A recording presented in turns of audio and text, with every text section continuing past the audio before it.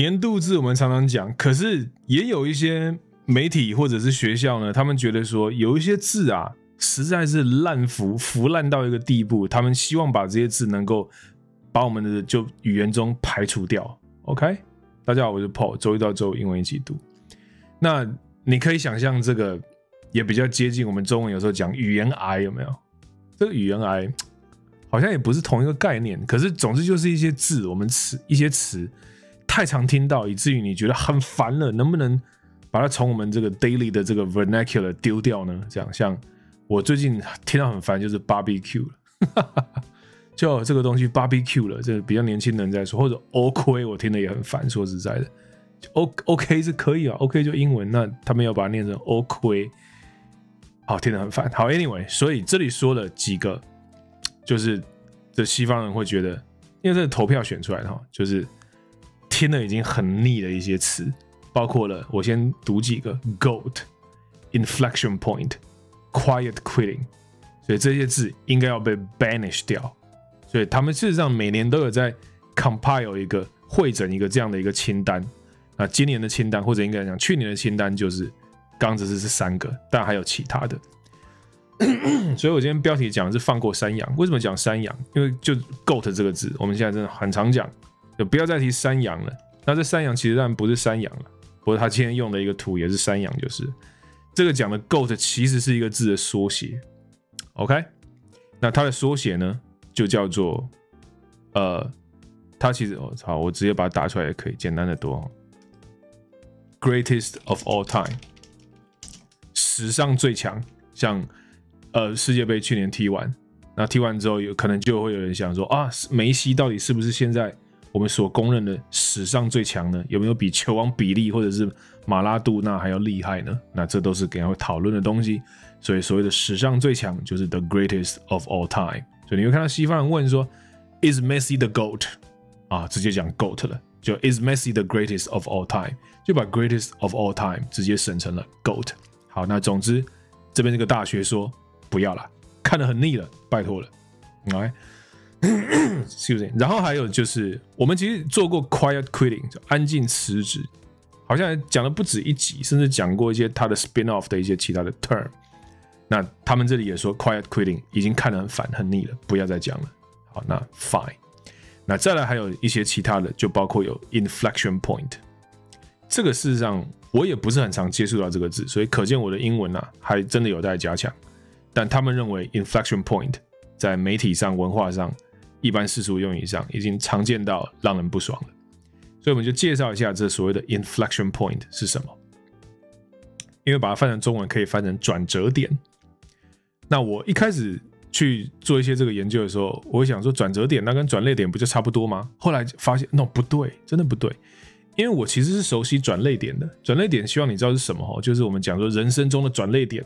那经过那个转泪点，你可能就就人生大变，好，例如说你对于奋发向上的态度有了一百八十度的转变啊，或什么这些的，好，叫转泪点。那这个叫做 turning point，turning point 非常清楚，turning point。我们直接往下看好了，先。所以这里写了一个这个转泪点叫 turning point。那转折点这里讲的 inflection point，可是还有一个 point 一定要说的，叫做 tipping point。那这个 tipping point，你去看翻译，它也叫它也叫做转折点 tipping point，可是跟 inflection point 真的是不同的。我这里先给你看一下，我找出来的 inflection point 要怎么翻。inflection 其实讲的是那个我们在图表中，哈，像例如说你现在有一个有个有个这种一个一个一个坡的一个那种那种形状，然后到了一个地方，哎，转成是另外一个形状了。我我在荧幕上画一下。所以，一转成一个 concave up 的时候，这就叫 concave down，就是我们讲说一个一个一个圆弧，然后是往下的 concave down。那如果变成往上的 concave up，那在那个转的部分，我们就叫它 inflection point。那我读一下这边跟你说说，in business 在商业上，他们说 a time of significant change in a situation。呀，好，所以在一个处境里面，一个很重要的一个。啊，转折点，a time of significant change in a situation。OK，那他这里也讲了 turning point 这个字，等于说他用这个转捩点也去来去修饰它。 不过我还是要强调，我会觉得是有点不一样的。但我相信也应该有很多人直接把 turning point 改成了 inflection point 也是有可能的啦。这样，那下面一个造句：The economy has crossed an inflection point and is poised for bigger things。 OK，那 inflection 这个字再就再多讲一下下，它还有另外一些额外的意思，就是像我们讲词类变化，例如说 be 动词，我的话是 am，你的话是 are，所以 you are，I am，he 跟 she 是 is，对不对？复数的 they 是 are，这就叫做 be 动词的 inflection。好，所以这种词性变化，或者猫的单数叫 cat，猫的复数是 cats，加个 s 在后面，right？那 dish 是单数，dishes 是复数，所以这也是一种 dish 这个词的就词类的 inflection，名词的 inflection。好，所以 inflection 还有这个字变化，好，词类变化。还有就是在讲音乐啦，或者就一般一般声音上讲的声调。那唱歌的时候，你会在尾音每一句的尾音多加一个花腔或什么这些的，或往上往下不同的。一般讲是往上往下，花腔那也不算。所以这种往上往下的变化调整。这个也叫做 inflection，inflection。所以总之，你大家可以理解，inflection 就是有转的一种概念，就是好。那跟 turning point，当然你会觉得好像是有点像的。好，像我可以说，一九年的时候，我开始做 YouTube，那真的就是我人生中的转捩点。我发现这个给了我的人生极大的意义。So 2019 was a major turning point in my life. 我会用 turning point，因为我所习惯的转类点是 turning point。那会不会现代人已经可能把它改成哦，2019 was an important inflection point in my life？说不定有人这样讲。OK，说不定。好，那我们刚刚还没说完，就 inflection point 跟 tipping point 不一样，所以这边让你读一下。呃，tipping point 的重点大概在哪里？因为 tipping 这个字当然是 tip 这个字的变化，那这个 tip 就是倒掉。就倒塌的那个倒，tip over，OK，tip over 是一个动词片语，就倒下来这样子。你有一个锅子放在你的这个琉璃台的边边，然后它就 tip over 之类的这样子。好，所以我们这边读一下。所以，a tipping point is where an unstable physical object like a seesaw tips。呀，所以 tipping point 就是呢一个本来就不太稳定的一个物理的东西。好比说是一个跷跷板，然后开始 tip，right？因为跷跷板本来就可以 tip 嘛，对不对？好，那但是 inflection point，an inflection point is a point on a continuous continuous plane curve at which the curve changes from being being concave to convex。所以我刚刚说的这种哈，一个一个弧圆弧，那数据上或者在图表上的，它。 突然间从往上变成往下或之类的，或颠倒过来，or vice versa，这叫做 inflection point。所以它并不是一个东西倒掉的概念了。所以 tipping point 跟 inflection point 不同，大概在这里。OK，那我也看了一下，这边有个中文的表达，就是 tipping point 指的是事情即将发生重大变化的转折点，意思是某个状况或局面从量变到质变的时候，一触即发的临界点。哦，说的好 fancy 哦。那一旦过了这个时间点，就无法挽回了。呀，所以像我们讲，例如说气象学好了，或者这个气候变迁的概念，我们会不会污染环境到一个程度，结果就造成了一些不可逆的天气上的变化？So that would be a tipping point. OK，因为就像一个东西翻倒了，覆水难收了。嗯，All right，所以排放二氧化碳排放到一个程度，然后冰块融化到一个程度，然后什么什么地方开始发生了大淹水，That's the tipping point. OK。或者冰块就就北极、南极的冰融化到一个程度，到某两个冰山开始嘣，整个分裂掉，然后造成了接下来天崩地裂的一些变化。That's the tipping point。我们就不会叫那个东西 inflection point。No，OK。好，所以希望这个讲的是够清楚了。来，我们其实还有好多东西要讲哦。我们今天可能这一集做的会有点长，所以他这里有讲到这几个词呢，他要不就错误的使用，或者过度使用，或者根本就是没屁用。所以这三个字都看一下，所以他们这个这些评论的人，这些 judges，they deem these words misused, overused, or simply useless。哦，misuse 用错了，overuse 用过头，useless 没屁用，这样子。All right，好。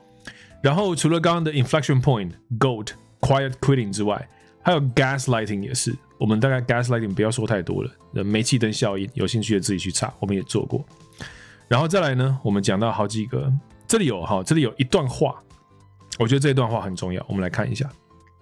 So the list serves to uphold, protect, and support excellence in language by encouraging avoidance of words and terms that are overworked, redundant, oxymoronic, cliched, illogical, nonsensical, and otherwise ineffective, baffling, or irritating, according to the university. 好，你看讲了好多词哈，来，我们都一个一个看一下。所以它汇编出这个清单，是目的是要来服务一个功能。So the list serves，那它的功能就是干嘛呢？用不定词继续接下去。So serves to uphold，uphold 就是把什么东西高举，或者是保护 protect，或者支持我们的语言的这个精妙性，哦，语言的 excellence。So to uphold the excellence of language or in language. Okay, to protect, uphold, support excellent in lang excellence in language. 那怎么样去做这三件事情呢？就借由 by，借由 encouraging 鼓励，鼓励回避以下这些词。So by encouraging avoidance，所以 encourage 鼓励，鼓励什么呢？鼓励你去躲开它。Encouraging avoidance of 下面这些已经这样这样这样的一些词，所以 avoidance of words and terms that are overworked，所以跟刚刚的 overuse 很像。redundant 就是呃跟没有用有点像，像我们说呃人力资源你是个冗员，冗员就可以就说它是一个呃 redundant 的一个 human resource，所以 redundant 就多余的、赘的这样子。oxymoron 是很有趣的一个词，我们要看 oxymoronic。 oxymoron，如果你只拿 moron 这个字出来，就你是白痴低能这样子。OK，智障。那 oxymoron 倒没有那个意思，它的意思变成了矛盾修辞法。矛盾修辞我觉得是很有趣的一个概念，因为语言本来就很有趣嘛。那我们讲几个所谓的矛盾修辞的例子，然后包括这边有 awfully good。If something is awfully good, you know it's good. OK，可是 awful 这个字本身是糟糕诶。所以糟糕可以来修饰 good，矛盾修辞，OK，awfully good。Bittersweet，bitter 是苦，sweet 是甜。所以如果一个东西又苦又甜，是不是听起来也哦？所以我们常把这个词拿来描述回忆，所以这个回忆又苦又甜，真的啦。哦，很多人很多事情给你的都是又苦又甜的回忆。So bittersweet memory 这两个字常走在一起，而 bittersweet 是一个字哦，哦，bittersweet memories。再来，same difference，两个东西有着不同，而这个不同是同样的不同。那同样的不同，这就是矛矛盾修辞了，因为同样是同样的，那你又讲不同，那不是冲突吗？Right？好，下一个字也是，这个是中文感受不出它的奇怪的感觉，可是英文你往深处想是有的。Copy 这个字其实就已经 imply 它是一个副本附件。OK，附件听起来怪怪的，副本好。就是一个东西的复印、拷贝的概念。拷贝这个字都是 copy 直接翻过来的，我记得。那我们中文叫正本，可是你在英文里面你讲 original copy，它就已经是矛盾修辞了。因为 original 就是原本真的就正本的概念，但是你丢了一个 copy 这个字进去，它就感觉不是正本了。所以希望你懂我的意思。还有下一个，这 deafening silence，silence 是沉默。Deafening，deaf 是聋子，所以震耳欲聋的沉默，这听起来中文也很奇怪，对不对？可是啊，反正矛盾修辞。还有活死人，living dead。如果你看金庸的小说的话，活死人之墓，王重阳，对不对？所以 living dead 这两个字矛盾的。还有在旧新闻，如果今天这是新闻，那就应该是新的。你用一个旧来形容它，矛盾修辞，修辞好，old news。所以那个谁交女朋友了？哦，That's old news. I already knew. Old news.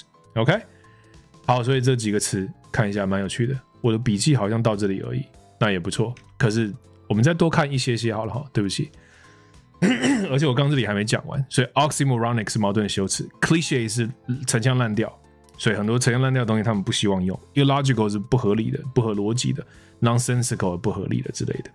所以这些词呢，就会让人家觉得没有用，ineffective。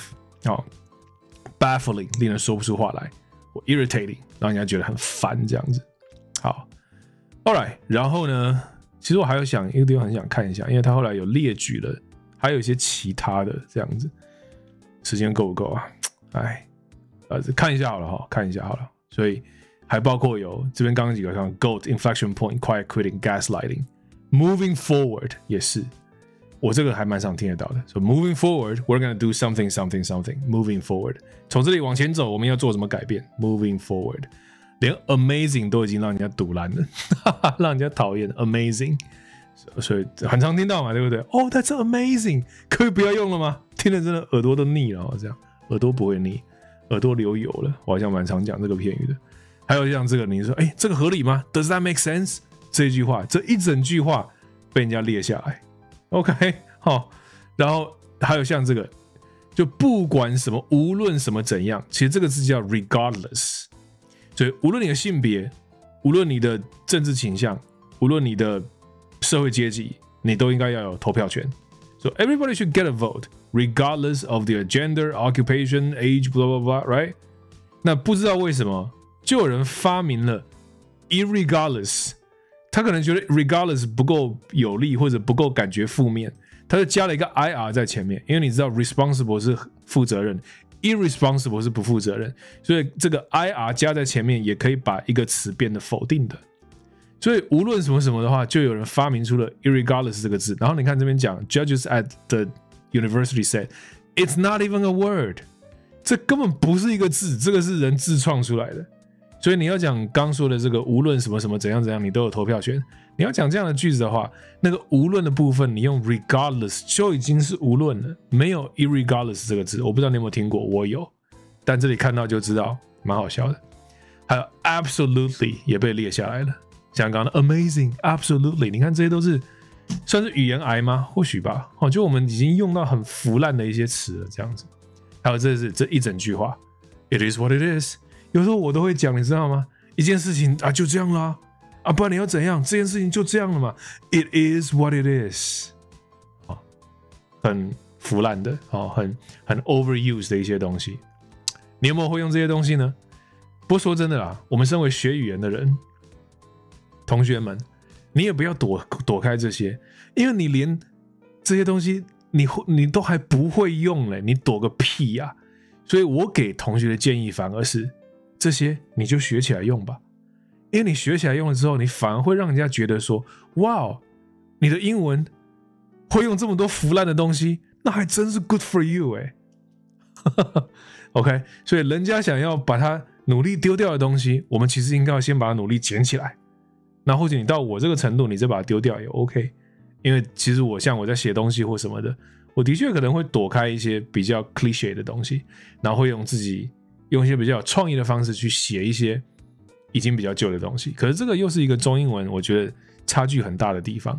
有时候我们会中文好，像我们有时候会讲说，我如果用一个成语四个字的东西，能够把一个很啰嗦的概念很简化的告诉你，然后跟你沟通，所以很棒。所以我们成语用的好，事实上表示这个人是很了不起的。但是在西方社会里面，我觉得蛮两极。有一派说法，就这个是我记得是 George Orwell 还是谁哈？就他很强调我们不要用这些成语了，因为成语就是扼杀创造力的一个东西。你如果想要去描述一个东西，用有创意的方式描述的话，就丢掉已经既有的成语。那这是一派说法。可是说真的，以我现在观察英文的状况，很多成语用的好的人，我还是很佩服。我也会觉得说，在一个地方适才适所的拿出一个成语。来很精准的 precisely 去描述一个 situation 的时候，我觉得很棒很厉害，我也会想要试着学着用。但这边举的一些例子是我觉得也真的很不错了，像 absolutely 呀，真的 amazing，真的听的是蛮烂的，就是哦，蛮蛮蛮腻的，就是。好了，这个后来拉拉杂杂讲了这么多，不好意思哦，没有教太多的英文。但希望今天有给你点什么，我觉得今天的内容还蛮多的，说真的。好，我是 Paul，我们下次见。